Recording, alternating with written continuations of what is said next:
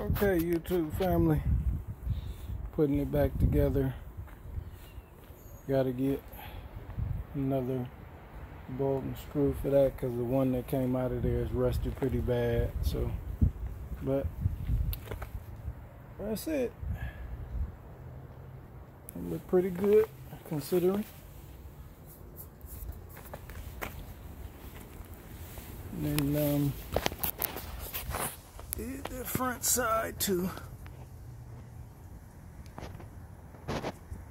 So, piecing it back together now. And uh, next video will be of uh, it put together, then the one after that, it running, and then chipping some wood. Step by step, little by little. DIY. You know how we do it.